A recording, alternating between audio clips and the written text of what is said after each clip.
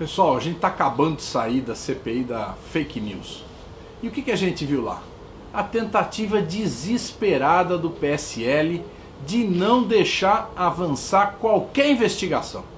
Os primeiros requerimentos que nós apresentamos, a deputada Luziane Lins, eram para convocar a, a, a, o Instagram, o Facebook, convocar o Google, para vir explicar como é que funciona esse sistema todo e como é que as fake news se propagam.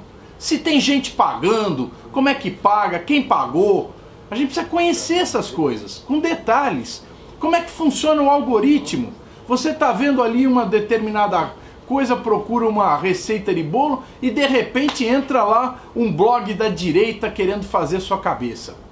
Nós queremos saber a verdade da manipulação das fake news no Brasil e queremos saber onde que está a origem disso.